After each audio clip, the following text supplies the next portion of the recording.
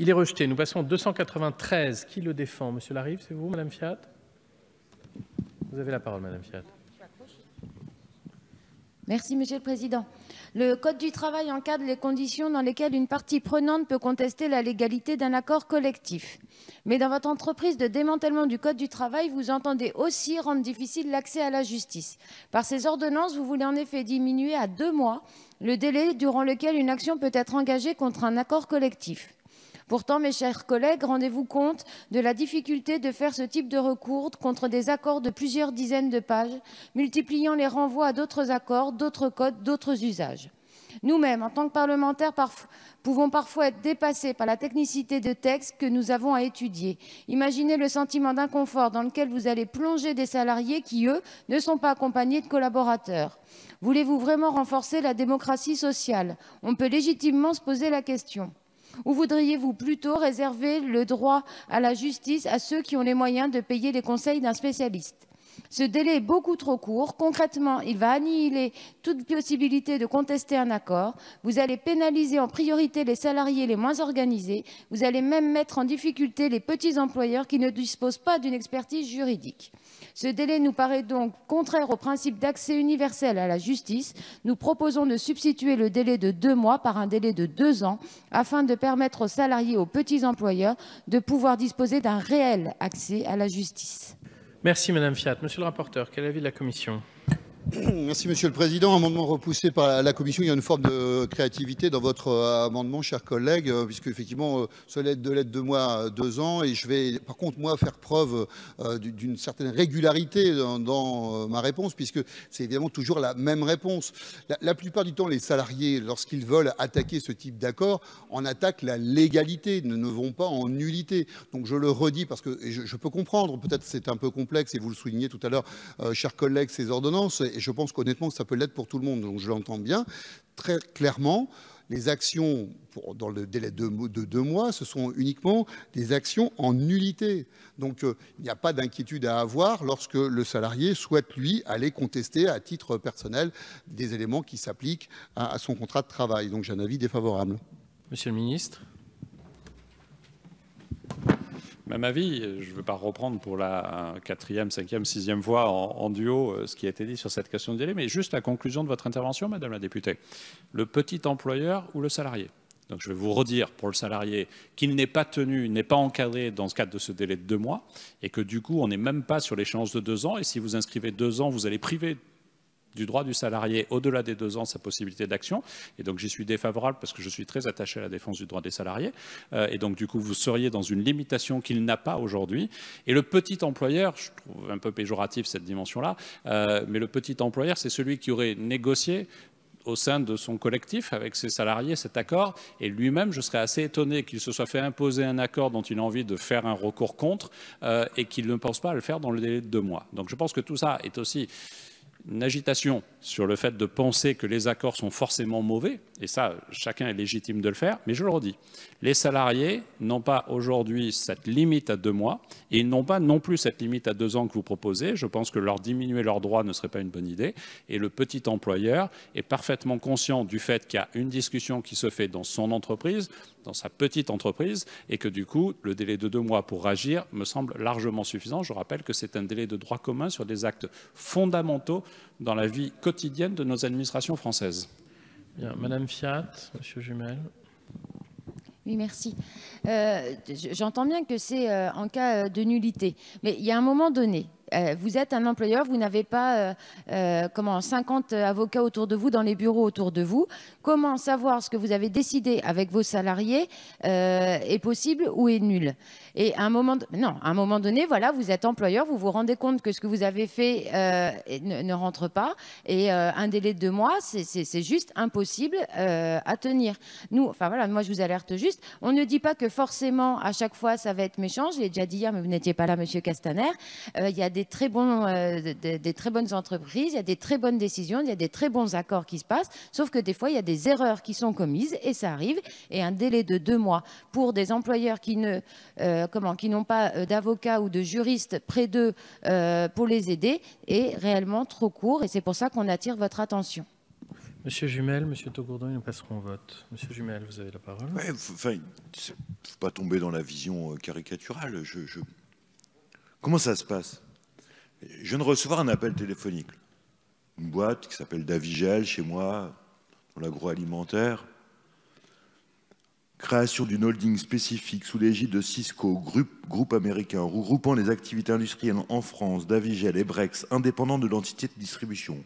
Dieppe et Tôte, intégrés dans la nouvelle entité de distribution Offranville, seraient rattachés à une holding usine créée pour cela.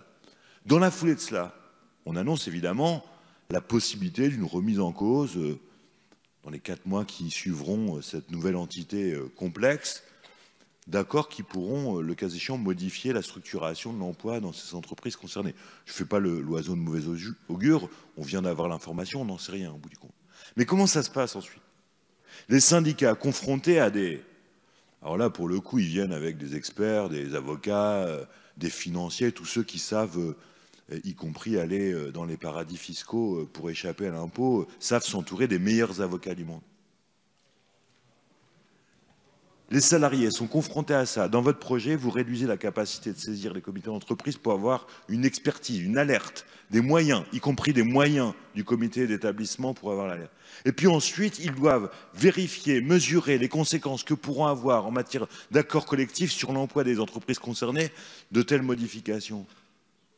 Et tout ça, vous nous dites, euh, il faut de l'ingénierie, mais enfin, c'est pas des boîtes de, c'est pas des start-up les syndicats, c'est des, militants, des bénévoles qui, euh, armés de leurs euh, convictions, de leur sens des réalités, ont vocation à défendre les salariés.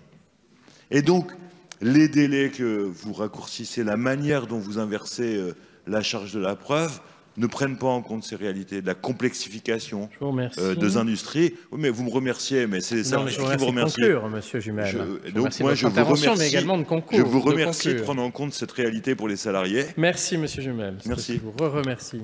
Monsieur Togo, passons donc au vote sur le 293 qui a reçu un avis défavorable de la Commission et du gouvernement qui est pour, qui est contre? Il est donc rejeté. Nous passons à des amendements identiques en commençant par le 138.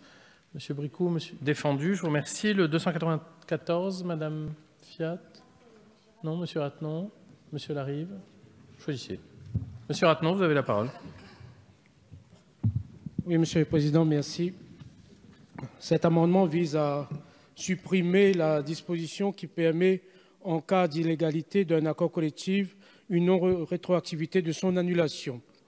En effet, l'ordonnance relative euh, au pseudo-renforcement de la négociation collective permet au juge qui prononce l'illégalité d'un accord collectif d'interdire tout effet rétroactif de sa euh, décision. Un accord collectif qui aurait, comme cela est désormais possible, diminué le salaire mensuel des salariés pourrait ainsi être jugé illégal sans que cela ne déclenche une compensation financière pour eux.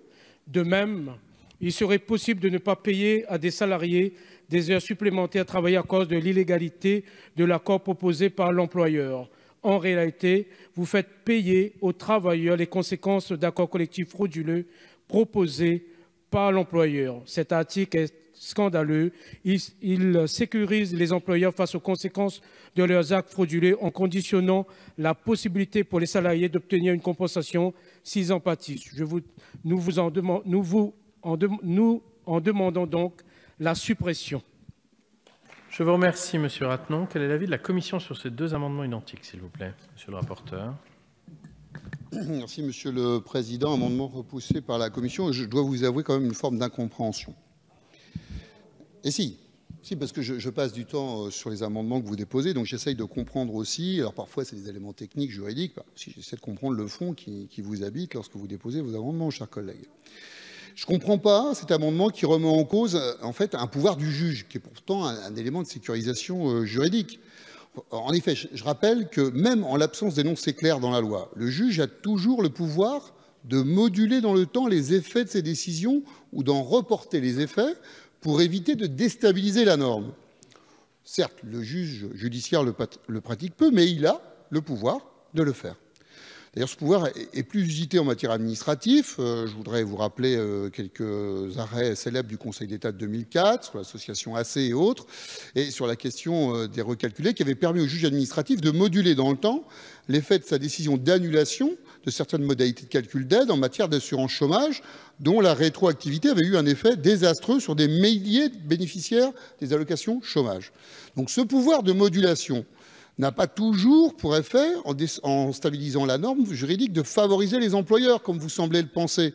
Elle a surtout pour objectif de ne pas créer de vide juridique ou de ne pas conduire à l'annulation en cascade de centaines de conventions collectives individuelles de forfait, comme cela a été le cas lorsque le juge a annulé des clauses des conventions de branche organisant le recours au forfait jour des cadres. J'ai un avis défavorable, Monsieur le Président. Je vous remercie, Monsieur le Ministre. Pareil. Nous passons donc au vote sur ces deux amendements identiques qui ont reçu un avis défavorable de la commission du gouvernement, qui est pour, qui est contre. Ces amendements sont donc rejetés. Nous, pouvons passer aux articles additionnels après l'article 2, en commençant par justement le 297. Qui le défend? Monsieur Larry, vous avez la parole. Monsieur le Président, Monsieur le Ministre, chers collègues, euh, l'article 8 de l'ordonnance du 22 septembre 2017 relative au renforcement de la négociation collective introduit une grande inégalité entre les salariés selon la taille de leur entreprise en matière de négociation des accords collectifs. En effet, il propose que dans des entreprises de moins de 20 salariés, l'employeur puisse faire passer un accord d'entreprise sans négociation avec les représentants des salariés par voie d'une consultation validée par les deux tiers des salariés. L'employeur pourra d'ailleurs euh, renouveler sa constitution autant de fois que nécessaire à l'adoption de l'accord. Notre amendement tend donc à supprimer cette disposition parce que l'organisation collective des salariés dans leur syndicat est le moyen pour eux de, rééquilibrer pardon, un rapport de force asymétrique avec leur employeur. Par ailleurs, nous attirons l'attention sur le risque d'inconstitutionnalité de cet article. En effet, l'article 8 du préambule de la Constitution de 1946, qui fait partie du bloc constitutionnel, déclare le droit pour les travailleurs de participer par l'intermédiaire de leurs délégués à la détermination collective de leurs conditions de travail à la gestion de l'entreprise. Considérant les difficultés pour les salariés des petites entreprises de s'organiser syndicalement, nous proposons par cet amendement de créer un dispositif de représentation syndicale territoriale dans les entreprises dont l'effectif est inférieur à 50, même dans un même département. Les élus auront pour mission de désigner des délégués pour aider les salariés des PME qui ne disposent pas de représentation syndicale à négocier leurs accords d'entreprise. Ainsi, plutôt que de détruire l'organisation collective des salariés au prétexte de la faible présence des syndicats dans les petites entreprises comme le fait le gouvernement, nous proposons une solution qui renforce le pouvoir des salariés. Merci, Monsieur Larive. Quel est l'avis de la commission, monsieur le rapporteur? Merci, Monsieur le Président. La commission a repoussé cet amendement. Euh, alors, c'est un débat que nous avons eu, chers collègues, assez largement hier, mais euh, vous venez sur ce terrain-là, et puis ça l'appelle dans l'ordre euh, du Code d'ailleurs, euh, je, vous réponds à nouveau bien volontiers.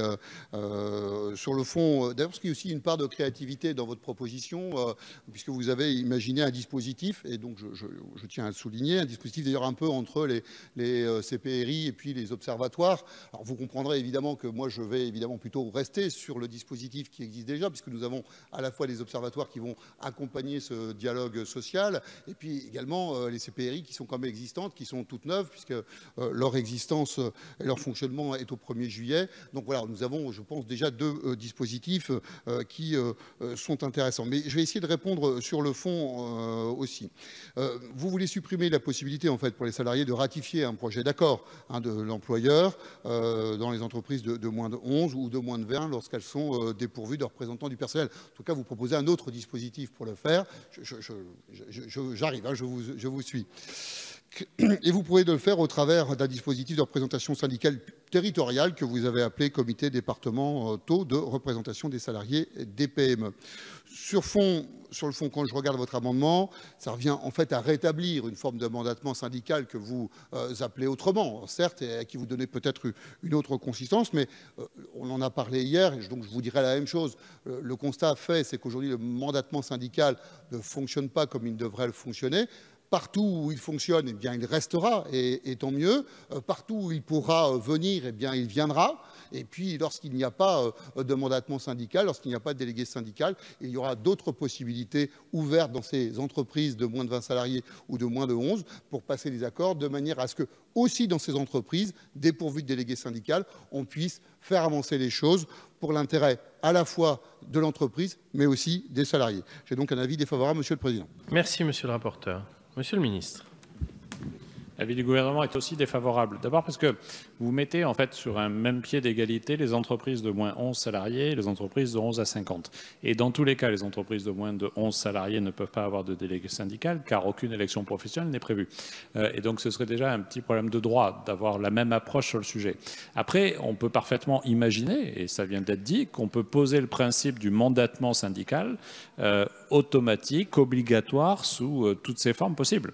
Ça n'est pas le choix du gouvernement, c'est le choix que vous portez, il est parfaitement légitime, euh, mais c'est les raisons pour lesquelles ça changerait totalement la nature de ce qui est proposé par le gouvernement, et donc l'avis est défavorable. Ensuite, sur cette instance départementale à laquelle vous faites référence, il faut avoir en tête qu'elle existe déjà, et elle peut d'ailleurs permettre de répondre à ce chef de petite entreprise, on va reprendre le bon terme, euh, qu'on évoquait tout à l'heure. Il existe en fait l'Observatoire d'analyse et d'appui au dialogue social qui peut aussi, sur ces sujets-là, être mobilisé pour discuter sur une convention collective et donner ces éclairages techniques qui peuvent être nécessaires à certains moments. Je vous remercie, euh, Monsieur Jumel.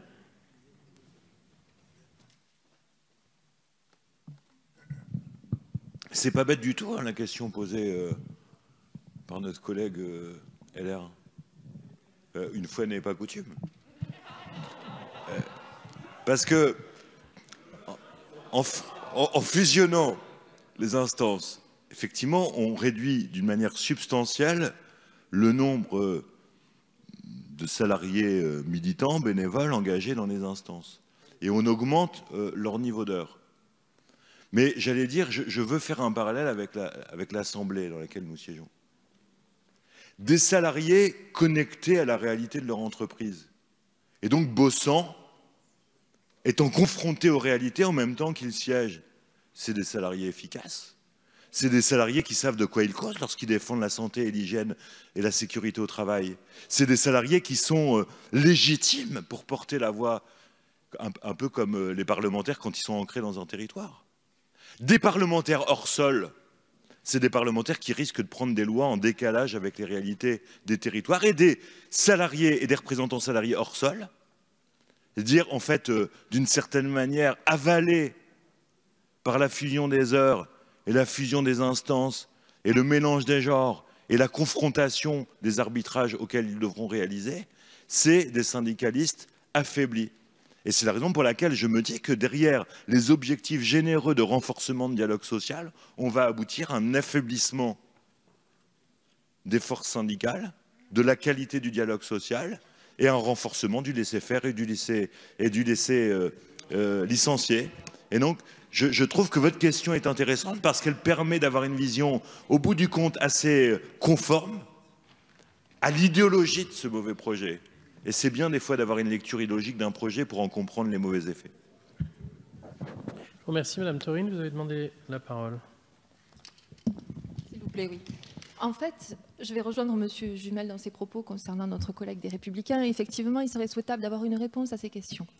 Deuxièmement, en tant qu'ex-syndicaliste, pour avoir siégé dans les CHSCT, etc., on n'arrive même pas au bout de l'ordre du jour. Donc vous allez m'expliquer qu'en fusionnant les instances et en ayant moins de représentants, on va faire mieux. C'est comme à l'Assemblée nationale. On a du mal à arriver au bout de notre travail. Et vous allez m'expliquer qu'en ayant moins de députés, on fera mieux. Euh, toujours faire mieux avec moins. C'est votre euh, théorie, sauf qu'il va falloir se rendre compte que ça ne fonctionne pas. Merci. Nous passons donc au vote sur le 352 qui a reçu un avis favorable du gouvernement. Qui est pour? Qui est contre? Il est donc adopté.